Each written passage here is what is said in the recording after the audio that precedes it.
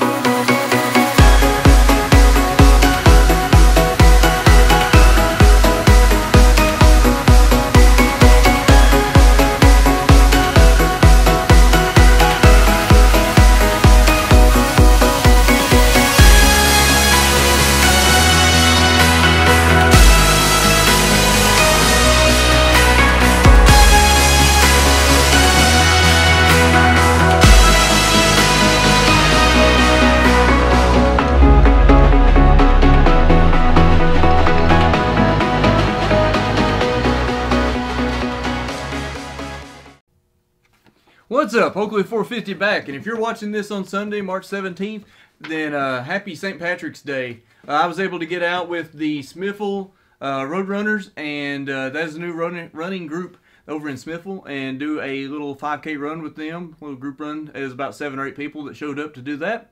Uh, so if you're around in the group, uh, the Smithville, Tennessee area, uh, go by and check out that group. Uh, we're planning on having some more group runs coming up uh, later on and they were usually starting from the Twisted Oaks, which we ate lunch there afterwards, and that was amazing food. So a big shout out to the Smithville Roadrunners and Twisted Oaks.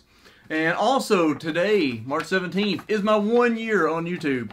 Uh, this uh, day, one year ago, is when I put up, my first video of my Epic Reacts when I first started my channel.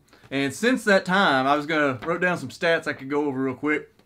Uh, since that time, we have grown in uh, 2,102 new subscribers, which is an amazing goal to me because my first year goal was just to reach a thousand if I could.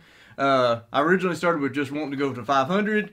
I reached that goal and then I moved it up to a thousand and I reached that goal too. So we're already up to 2,102. So that is really impressive. Thank you to everybody that subscribed to my channel so far. I plan on having a lot more coming out later. Uh, this year with more shoes and uh, a lot more gear and supplements. I'm going to be looking into getting a lot more like supplements from like UCAN and stuff like that uh, to try out. Uh, in that time, we have had 287,805 uh, views on my channel. Uh, that is a lot, in my opinion. Uh, and out of those views, that is totaled a uh, total of 673,970 times 79 watch time minutes, which equals 11,232 hours. Just to put that in perspective, that is 468 days. So if you started playing my videos and watching them end to end straight, that would be 468 days it would take you to watch all of that content. That is that is an astronomical number for me. It would take you over a year to watch all of that. So I appreciate everybody that's supported me so far and everybody that's watched my videos, gave me feedback about how to improve things, ask questions, and even I've learned a lot from y'all uh, as well. So uh, I hope and looking forward to this year to continue that. And my goal for this year is I'm shooting for 5,000 subscribers. I'm not really shooting for any kind of uh, watch time minutes, views, or anything like that. If I can just hit the same thing as I did this year, I'm happy with that. Um, anyway, uh, yeah, and another goal I have is just to continue to enjoy the journey, the journey of uh, creating uh, YouTube videos and giving reviews and meeting a lot of new runners. That's one of the things I'm really focusing on this year is actually going out and meeting up and getting into a lot of new running groups like the the Smithville Road Runners and also the uh, Red Silo Runners. I'm fixing to do a group run with them next week. So uh, if you ever run with them, and I'll give me a shout out, and I'll maybe I can hook up with you and we can go for a run too. All right. Uh, then also, uh, since we did reach that goal, I have a giveaway link to my Kinvara 10 long run video. If you've not entered that giveaway yet, I'm going to have the link up above here. So make sure you follow that link. And uh, that is going to be just celebrating my reaching 2,000 subscribers. That giveaway goes on till March the 30th. And then uh, I'll announce the winner in the following week. And that is for a $100 Amazon gift card. So maybe you'll be able to pick up some new shoes or gear or anything with that spring and summer running coming up. So that is all of that. All right. Uh, yesterday or later, late last week, I actually got the Gayukaso, and I think that's how you pronounce that. I have no idea. I'm sorry if I've butchered that name. I'm sure I'm going to hear about it in the comments. But uh, got to run in this late last week. This is a shoe I've really, really, really been looking forward to because, I, for one, I love the colors of it because I'm a big Oregon Ducks fan. So I'm really liking like the yellow and like I guess it's like a like a gray and then the green lacing and all that. So I mean, I'm just really loving the colors of the shoe and the look of the shoe. It's really impressive. Everybody knows I've always been a big fan of the Pegasus Turbo. But since I got this late last week, I did a run in it. And before I wanted to give my first thoughts review on this shoe, I wanted to go over there and take out the original Pegasus Turbo. And just that way I have like a really fresh in my mind uh, a comparison of the two. So I took this one out, and that's the one I ran actually in the St. Patrick's Day uh, race yesterday, just to get a run in those. Uh, earlier this week, I did a four mile run in these. It was a 747 pace in these. And then yesterday was a 5K, 3.1 miles, and it was a 740 pace in these. So I mean, pretty pretty similar little paces and all that. Most of you know, really relaxed type runs, not trying to go for any kind of race pace, any kind of records or anything like that. All right, so that's why these are up here. All right, one of my favorite shoes to run in, and my shoe of the year last year. All right, now getting into the uh, Pegasus Gaio Casico or whatever, Gaia Gaiacaso. I don't know. We're gonna have to learn how to pronounce that. All right, getting into the new Pegasus Turbo. All right, um, starting off, it weighs uh, 0.5 ounces heavier than the original Pegasus Turbo. So half an ounce heavier.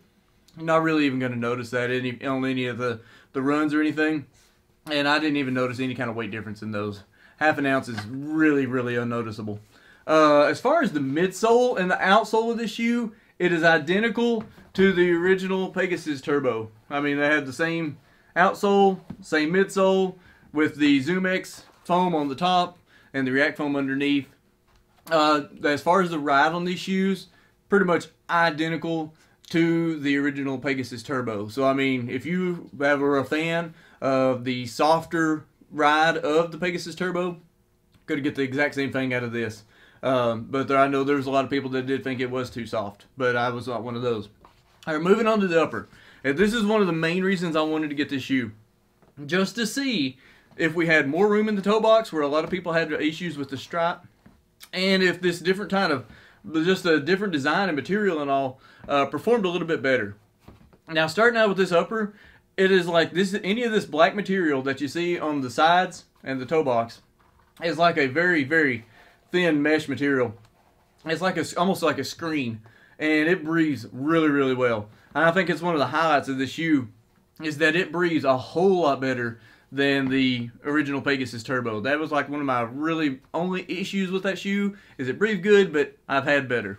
Um, but this uh, black material actually runs through the whole shoe. And then this yellow is actually like an overlay that is fused to the black material to give it some more type structure and support.